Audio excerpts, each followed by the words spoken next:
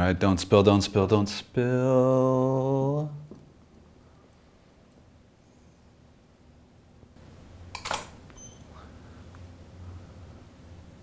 Oh yeah, that looks good. Yeah. Probably one of the biggest questions I get here on the channel is how do I shoot tethered? Or what's my tethered workflow, my tethered setup? Well, today I'm gonna answer that. How's it going everyone? Today I'm gonna create a companion photo to go along with the last one that I made and sort of a companion video to go with my last video about my new overhead flat lay camera setup that I built. It's a video from the comments section. Mainly I wanted to answer all those how do you shoot tethered questions I got in my last video. Well, I pretty much get every video. I know I do it a little differently, so I wanna answer that but I also want to answer some of the other questions that I get as well. So how do I shoot tethered and how do I use my tablet right there at the table. I don't know if you can see that right there, but how do I use that to trigger my camera, compose, and view my images? Well, let me show you. It's really simple actually, and I never thought I could make a whole video about it, but it all starts with the camera. And I'm sure you guys know the bright orange USB cable that I have here from Tether Tools. It goes from my camera along my overhead setup, down my stand, around this fancy drink, and finally into the back of my computer which I have Capture One open on, and you can see the shoot going on right now. Okay, okay, real quick though. I have to admit to something. I have to get it off my chest. It's gonna be hard for some of you. Maybe grab a seat, grab a snack, take a deep breath, inhale, exhale. Ready? I don't use Apple. I know the horror. A photographer who doesn't use Apple. I went to the dark side a long time ago. I use a PC and my tablet is an Android. I get a lot of comments that say, oh, you must be using an iPad and an Apple or a Mac. That's how you're doing this whole wireless tethering thing. No, no, I, I use a PC and a tablet. Hold on, if you do use an Apple and an iPad, let me get through this next step and then I'll walk you through it. But for now, inside Capture One, I can control the camera, the exposure, check the focus, compose in live view, and all of that. Really important tethering stuff and why we should all photograph tethered. But then, and I think this is the part that trips most people up is how do I then use my tablet to wirelessly trigger my camera, view my images, my composition in live view in the other room at my shooting table? Well, it only takes one hotkey press and a click of the mouse. I always forget. There's a step that you have to do on the tablet first. Use your pen or your finger and drag down from the top of the screen. You see these little icons here. Drag down again and then scroll to the right. You find an icon that says second screen. Tap on that and you're good to go. But now back on our computer, we can connect wirelessly to our tablet. Use the hotkey Windows plus K and this side panel will appear. Find your tablet in this list. Here's my tab S8.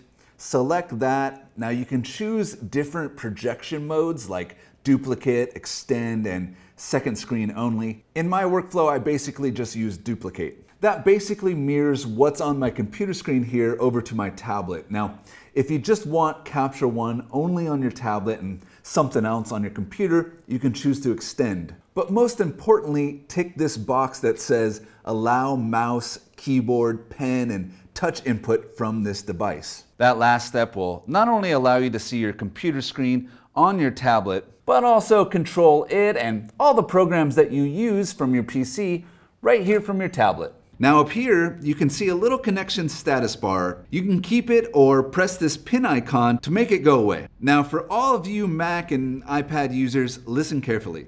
I can't show you because I don't have them, but I'll walk through it step by step. Go to your system settings, click display, then select your iPad from the list below. Select the button that says mirror or extend to. From there, you can set it up as a sidecar to move Capture One or whatever program you're using to tether to. Drag the window or hold the pointer over the green button in the top left corner of the window, then choose Move To and you're done. I know Capture One has made an app for iOS for you iPad users, but I'm pretty sure they, they haven't made one for Android yet. But by running my Tether workflow this way, it allows me to control the full version of whatever program I choose to tether to. Lightroom, Dragonframe, or you know, whatever camera software I want. There's two main reasons why my workflow with my tablet as a monitor and a trigger for my camera is set up this way. One is to use it as my live view, to compose my images nice and big with full use of the tethering software. I can set grids and guides, use overlays if I want to, you know, all that great stuff. Then the second reason is to take test images during the shoot. But the reason why I say test images is really to answer a question that I got on my previous video about why I don't use a Bluetooth or a wireless remote to trigger my camera instead of me using my tablet. I mean, aren't I worried about shaking my whole rock solid system here? Well, Yes and no. I mean, if I was going to take just one image, I don't think it would really matter either way.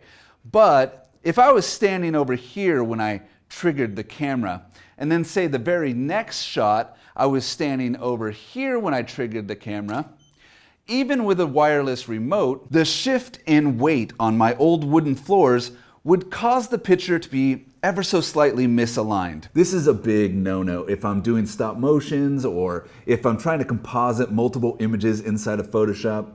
In fact, you know, since I never know when I need to composite, it's kind of always a big no-no. And even when I'm on set working with a client, the types of floors that I'll have will be so unpredictable that when it comes time to make the final photo, it's like, nobody move, nobody breathe.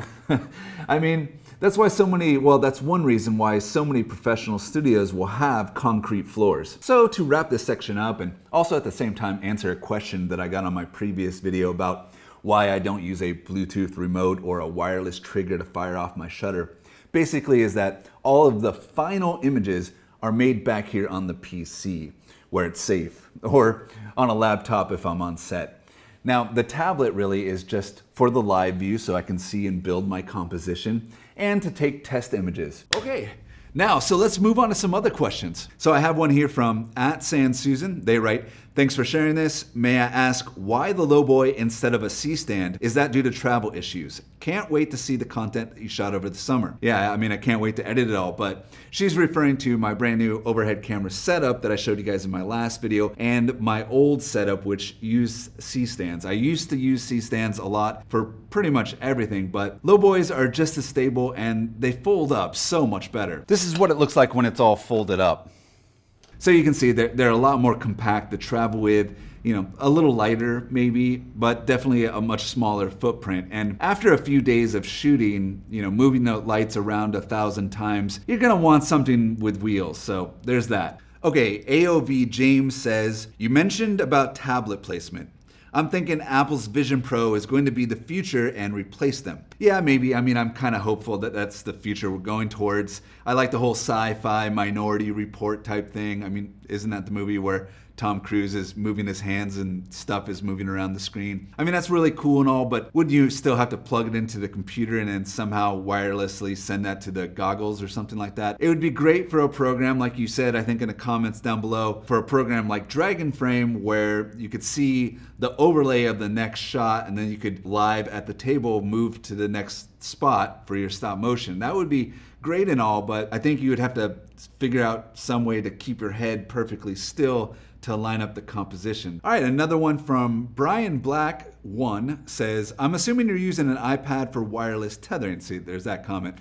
I sure wish Capture One would add wireless tethering support for Android. Yeah, I mean, like I said, I'm not on a tablet or I'm not on an iPad. I use Android 2 as well. And I do, I wish Capture One would provide support for Android. And that's kind of why I made that joke is because I don't use Apple and I kind of feel like the photography apps and community gives preference to iOS users. But also, let me know, do you guys shoot directly to your tablet? For me, it doesn't really fit with my workflow. Kind of just skip that whole step. Just download them directly to my PC and then you know, onto my archive. And when I'm on shoots, I shoot to a laptop and I have my images backed up to multiple drives just for safety. But let me know what you guys do. Another person writes, I followed you since your hair was black. I came back after a few years. Watch this video. Your hair is gray now.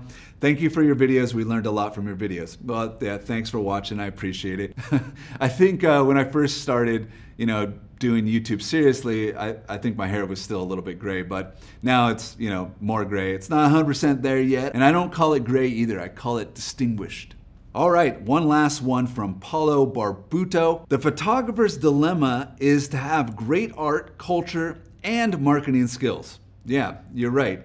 Um, that's the way it's always been. I mean, you have to study the camera, spend years at that, spend years studying lighting and composition and styling and all that good stuff. And at the same time, you have to be really good at business and really, really good at marketing. It kind of reminds me of this quote. I can't remember who said this, but back in my college days, I, I heard it and I've kind of always wanted to make a video about it, but here it goes. It's like this You're either a rich photographer who doesn't care about making money, or you're a poor photographer who doesn't care about making money. So there you have it. I'll leave you with that. All right, all right. Well, that was a lot of fun answering your questions. And, and hey, if you have more questions, drop them down below. Usually I try to get to them in the comments section, but you know, if there's enough of them, I'll make a video about it. As always, if you like this video, give it a subscribe, thumbs up. I always do that.